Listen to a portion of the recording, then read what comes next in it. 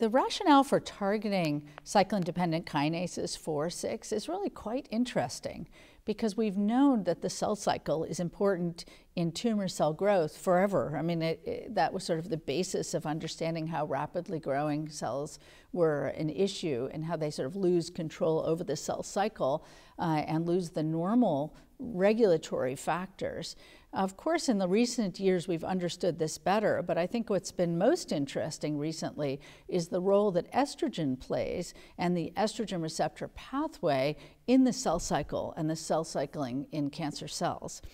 So, cyclin dependent kinase inhibitors, of course, were of interest for a long time in the treatment of cancer because of the importance of the cell cycle. But they had a lot of off target toxicity. It's actually on target, but normal cell toxicity, where you would get uh, low blood counts, cytopenias that were a problem.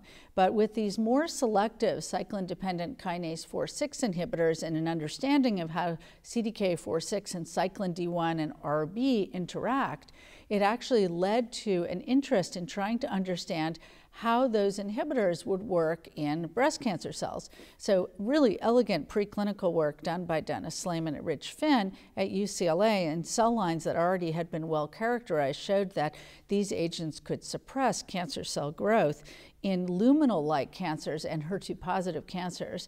And at the same time, there was preclinical work showing the relationship between ER and signaling through the estrogen receptor and CDK4-6. And so the rationale really came about from the fact that CDK4-6 inhibitors could actually potentially have single agent activity, but that more importantly, estrogen could actually overcome that inhibition in preclinical settings.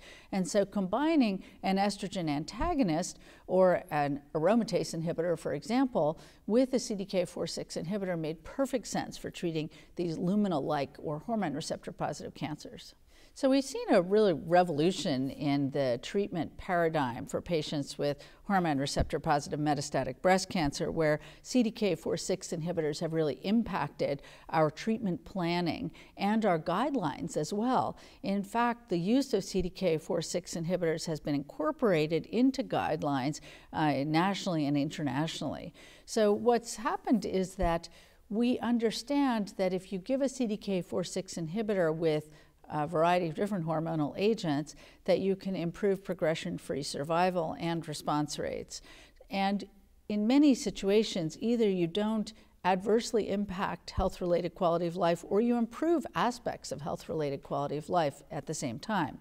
So, based on these data, the agents have been incorporated into both the first and subsequent line therapy combinations with hormone therapy. So the impact in terms of the treatment paradigm is that now when you have a patient who has hormone receptor positive metastatic breast cancer, the decision is I'm going to give hormone therapy. Should I also give a CDK4 6 inhibitor? And in most cases, that answer is yes in the first or subsequent line setting, depending on the individual patient setting and situation and the organs that are involved.